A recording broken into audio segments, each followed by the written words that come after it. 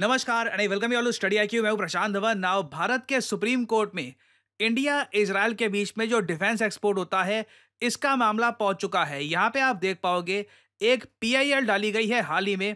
कई भारत के former diplomats और सिविल सोसाइटी के लोगों द्वारा जो ओपनली कह रहे हैं कि सुप्रीम कोर्ट को इंटरवेंशन करनी चाहिए और इंश्योर करना चाहिए कि इंडिया से ना जब हम बात करते हैं इंडिया से तो इसका मतलब यह है कि ना हमारी सरकारी कंपनी ना प्राइवेट डिफेंस कंपनी चाहे इसमें टाटा डिफेंस या अडानी डिफेंस किसी भी इंडियन कंपनी से कोई भी वेपन कोई भी आर्म्स एमिनेशन ये इसराइल को एक्सपोर्ट नहीं करना चाहिए। और आप देखोगे इस पर बहुत सारे आर्टिकल्स पब्लिश हो रहे हैं कि रिटायर्ड डिप्लोमेट्स इंटेलेक्चुअल्स ये अब पहुँच चुके हैं सुप्रीम कोर्ट में। और अब देखना होगा कि क्या सुप्रीम कोर्ट में हेयरिंग होगी इस इशू को लेकर कि क्या इंडिया इसराइल को वेपन्स एक्सपोर्ट करेगा या नहीं करेगा? और अगर यहाँ पे आप सोच रहे हैं कि क्या भारत पहला देश बन सकता है जो इसराइल पर एक कंप्लीट वेपन्स बैन लगाएगा तो इसका आंसर है नहीं।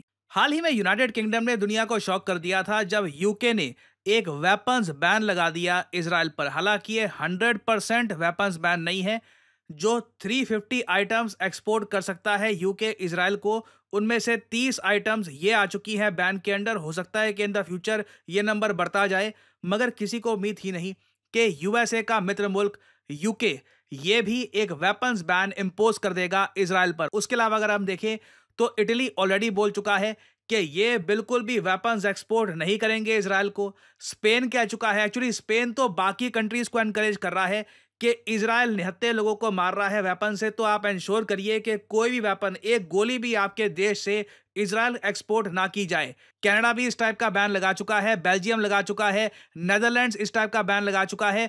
बट ऑनेस्टली आप सब लोग जानते हैं कि इन सब कंट्रीज़ के वेपन बैन से इतना कुछ फ़र्क पड़ता नहीं है।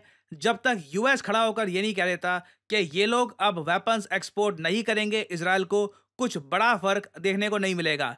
और यूएसए में देखिए, इस बात पर चर्चा हुई थी जब इसराइल रफा पर, आपको याद है ऑल आइज़ ऑन रफा बहुत ट्रेंड किया था। तो उस टाइम देखिए यूएसए में डिबेट हुआ था कि क्या इसराइल पर वेपन्स एम्बार्गो वेपन्स बैन लगाना चाहिए, नहीं लगाना चाहिए? बट इन दी एंड कुछ खास रिज़ल्ट कुछ निष्कर्ष निकल के आया नहीं। बस डिबेट ही हुआ यूएसए में। यूएसए ने कोई एक्चुअल बैन इम्पोज किया नहीं है। और जब इसराइल के प्राइम मिनिस्टर बेंजामिन नेतन्याहू से पूछा गया कि यूके ने जो अब अनाउंस कर दिया है कि काफ़ी सारे वेपन्स अब आपको एक्सपोर्ट ये नहीं करेंगे, हो सकता है कि कल को ये नंबर बढ़ भी जाए, इसको लेकर आप क्या कहेंगे?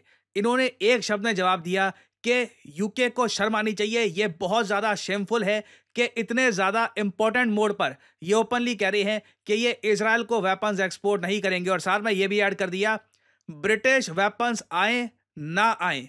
इसराइल अंत में ये जंग जीत के रहेगा। और अगर यहाँ पे आपका सवाल ये है कि इतने सारे जो पश्चिमी देश हैं, ये इसराइल पर वेपन्स बैन क्यों लगा रहे हैं, ये मैं आपको समझाता हूँ। देखो, यहाँ पे आप अगर देखोगे, ये है वेस्ट बैंक ये बीच में यहाँ पर ये इसराइल है, ये वेस्ट बैंक ये गाजा पट्टी। वेस्ट बैंक और गाजा पट्टी दोनों को मिलाकर बनता है फिलिस्तीन। ना रिसेंटली नेतन ने ना इसराइल के जो प्लान्स हैं लॉन्ग टर्म प्लान्स हैं इसको लेकर एक प्रेजेंटेशन करी लिटरली एक प्रेजेंटेशन करी। इन्होंने एक बड़ा सा मैप लिया और दिखाया कि किस तरीके से ये लोग अटैक कर रहे हैं गाजा पट्टी पर, आतंकवादी इनके हिसाब से कहाँ कहाँ छुपे हैं क्या क्या इसराइल कर रहा है। ना ये सब देखकर लोग ज़्यादा सरप्राइज़ थे नहीं। ये इसके बारे में लोगों को पता है कि इसराइल अभी गाजा में बहुत कुछ करेगा। मगर सरप्राइजिंग बात यह थी कि जब ये मैप जूम आउट हुआ और जूम आउट करने के बाद नेतन ने दुनिया के सामने ये पिक्चर प्रेजेंट करी।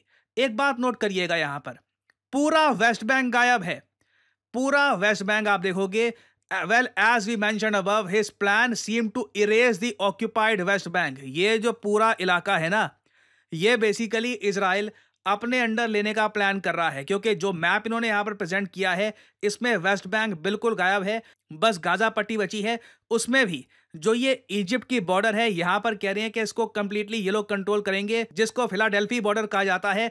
इस मैप को देखकर और इसराइल के ये जो प्लान्स हैं, इनको देखकर सऊदी अरेबिया जो अभी तक आप कह लीजिए काफ़ी हद तक साइलेंट था, वो भी बोल पड़ा कि इसराइल अब क्रूरता दिखा रहा है इसराइल अब बहुत ज़्यादा अग्रेशन कर रहा है। और आप समझ सकते हैं, अगर नेतन का प्लान अब ये भी है कि ये वेस्ट बैंक पर भी कार्रवाई करेंगे, यहाँ पर भी बहुत सारा हिस्सा कब्जाएँगे तो मतलब कि सिविलियन कैजुअलिटीज बहुत ज़्यादा बढ़ने वाली है और ऑब्वियसली इसराइल को ये सब अकॉम्प्लिश करने के लिए वेपन्स चाहिए होंगे। इसराइल 90 लाख की आबादी का देश है, छोटी आबादी है। इतने सारे वेपन्स मास स्केल पर देखो इसराइल के पास टेक्नोलॉजी है एजुकेटेड लोग इनके पास हैं, मगर मास स्केल पर वेपन्स प्रोड्यूस करने के लिए आपको इंडस्ट्री चाहिए होती है, आपको बड़ी आबादी चाहिए।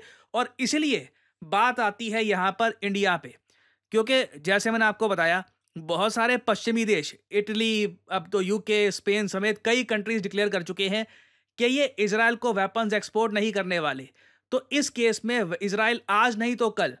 इंडियन कंपनीज़ को हो सकता है कि एक बड़ा ऑर्डर दे। ऑलरेडी देखिए कुछ रिपोर्ट्स आई हैं कि कुछ इंडियन वेपन्स पाए गए थे इसराइल में। यूजुअली ये जो रिपोर्ट्स हैं, ये फेक पाई गई थी। अभी तक लगता नहीं है कि इंडिया ने कुछ बहुत सारा वेपन एक्सपोर्ट किया है टू इसराइल बट यहाँ पे जो बहुत सारे लोग जो गए हैं सुप्रीम कोर्ट में, वो ये कह रहे हैं कि बाकी कंट्रीज़ की तरह इंडिया को भी एक प्रॉपर रूल सेट करना चाहिए कि कोई भी हथियार इसराइल को नहीं भेजा जाएगा बट क्वेश्चन यहाँ पर यह आता है कि अगर इंडिया ऐसा कर देता है तो कल को अगर मान लीजिए हाइपोथेटिकली स्पीकिंग आज से कुछ साल बाद पाकिस्तान कारगिल में कुछ फिर से करने की कोशिश करता है और हम पाकिस्तान के अगेंस्ट ऑपरेशन करते हैं पाकिस्तान की मिलिट्री को पुशबैक करने के लिए और उस वक्त हमें इसराइल से वेपन्स की आवश्यकता है और इसराइल भी उस वक्त अगर ये कह दे कि नहीं देखिए, इस वक्त तो हम आपको वेपन्स नहीं एक्सपोर्ट कर सकते, तब हम क्या करेंगे? तो ये सिचुएशन बहुत कॉम्प्लेक्स है और जो भी मैंने आपको डिटेल्स दिए हैं, जानकारी दी है, उसके बेसिस पे मैं आपसे जानना चाहूँगा। कमेंट सेक्शन में इसका आंसर करिएगा। क्या आपके हिसाब से इंडिया को इसराइल पर एक वेपन्स एक्सपोर्ट बैन लगाना चाहिए, या फिर आप मानते हैं कि ऐसे बैन की कोई आवश्यकता नहीं है? लिखेगा इसके बारे में कमेंट सेक्शन में। हम सब लोग जानना चाहेंगे आपका ओपिनियन और फाइनली यहाँ पे मैं आपसे एक एमसीक्यू भी पूछूँगा। देखिए आईआईटी दिल्ली कैंपस ने हाल ही में अपना पहला international campus batch with 52 students ये शुरू कर दिया है। आपको बताना है कि ये कैंपस कहाँ पर शुरू हुआ है। ये है यहाँ पे आपकी ऑप्शंस बहुत ही मैं कहूँगा प्राउड मोमेंट है फॉर इंडिया ये आपकी ऑप्शंस हैं मस्कट आबूधाबी बेजिंग या फिर दुबई कमेंट सेक्शन में करिए उत्तर, जो लोग सही आंसर देंगे, उनकी कमेंट को मैं हार्ट दे दूँगा ताकि बाकी लोग समझ पाएँ कि सही आंसर क्या है। और फाइनली पर मैं ये भी ऐड कर दूँ कि आज है टीचर्स डे और इस बहुत ही स्पेशल डे को सेलिब्रेट करने के लिए स्टडी आईक्यू ने लॉन्च करी है वन डे फ्लैश सेल जी हाँ आज पाँच सितंबर के रात बारह बजे तक स्टडी आईक्यू के सभी कोर्सेज पर एक हैवी डिस्काउंट अवेलेबल है। आपको करना सिंपली क्या है? कमेंट सेक्शन में जाइए और यहाँ पे आपको दो लिंक देख जाएँगे।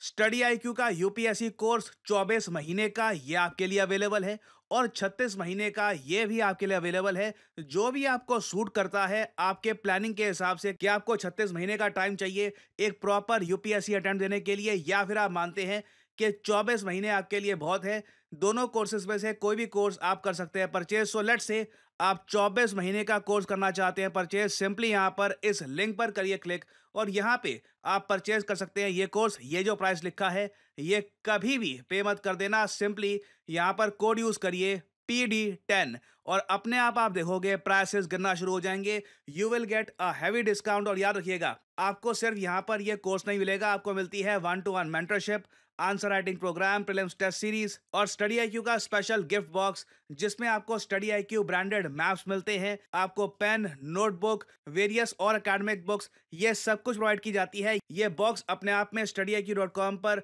पाँच हज़ार से लेकर छह हज़ार के आसपास का पड़ता है। तो इस कोर्स के साथ ये बॉक्स आपको फ्री ऑफ़ कॉस्ट मिलेगा it will be delivered to your address तो आज रात बारह बजे तक की सेल है यहाँ पर। Use the code PD ten to get the maximum possible discount and start your UPSC journey properly so इसी नोट के साथ, यह है वीडियो का अंत। Thank you for listing and as always may the gods watch over you